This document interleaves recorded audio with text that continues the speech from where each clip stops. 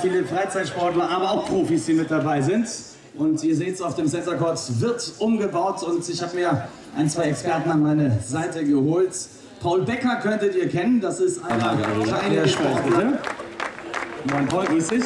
Und wir haben, glaube ich, Ines noch am Start. Ines Bianca, könnt ihr euch an die noch erinnern? Das ist schon zwei, drei Tage her, da hat sie nämlich auch ganz irgendwie auf dem Podest gestanden. Ich habe Namen bekommen. Britta, Steffi, Dani, Marit, Arne, Thomas, Silvi, Maike, Annette.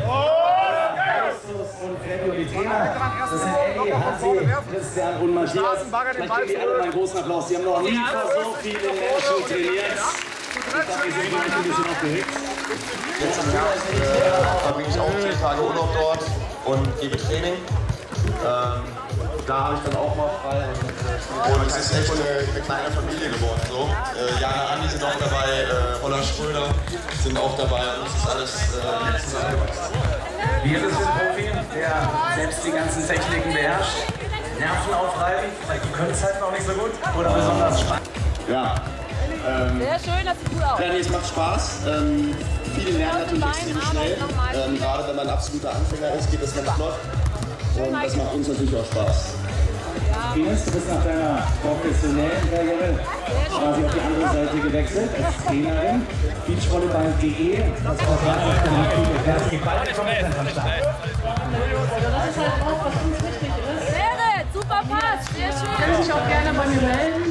Ähm, wir sind oben im Sponsorendorf, haben mit unseren Stand einfach nochmal vorbeikommen. Ansonsten auf unserer äh, Seite gucken, beach-volleyball.de und der Beach Academy. Wir sind jetzt im Herbst nochmal fünf Wochen in der Türkei.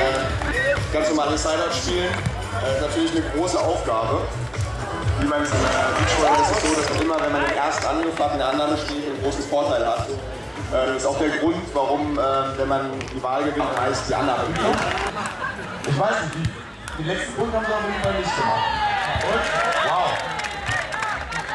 Die Neunjährige. Spaß und Max, Lana und Anni. Hast du? Klasse.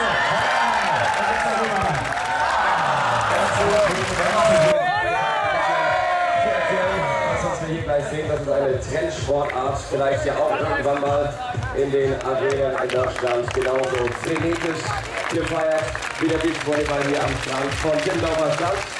Der Applaus nochmal für die Jungs und Mädels.